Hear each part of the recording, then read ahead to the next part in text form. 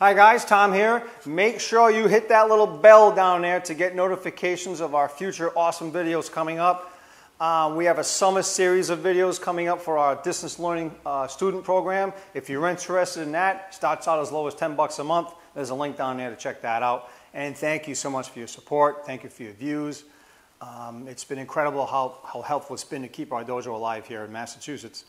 Um, today's lesson is going to be again about the feet. And this is one of those questions that people are afraid to ask because it feels silly.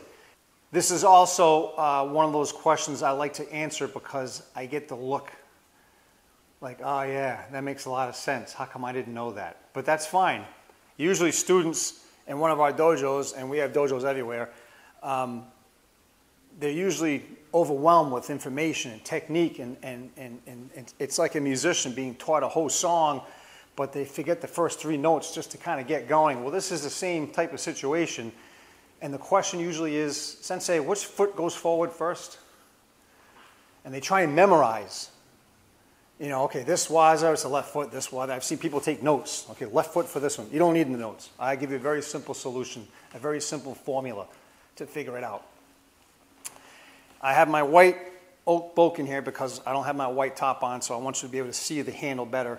Um, so here's the answer to your question. If you're stepping forward, your right foot goes out first.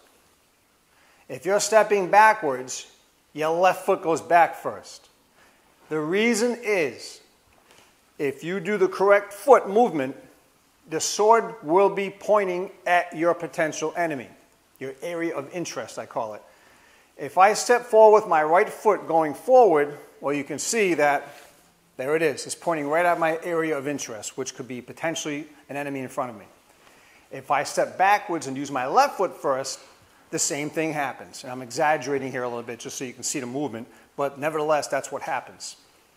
If I do the incorrect foot, and this is something you can try just standing there watching this video, you don't need high ceilings for this exercise. If my left foot goes forward first, my hips bring my sword handle pointing that way. Well, if my area of interest, and for most beginners it's in front of you, then that means I have to do a second movement to get the sword in front of my enemy. Same thing going backwards. You notice my sword is now pointing that way, where I want it to point that way. So I'm going to step my left foot backwards. There it is. Very easy to do. Now, there are some advanced concepts in these arts where you do things like this on purpose because you may want to change your area of intent without your enemy knowing it. And yes, these are advanced concepts, but for the beginner, that's all you got to do to remember it. Is see where you handle. Let your handle show you the way. And that'll help and that'll give you less stress in the dojo when you have a whole bunch of people with you and you're the only guy with the wrong foot forward. Now you will never be that guy.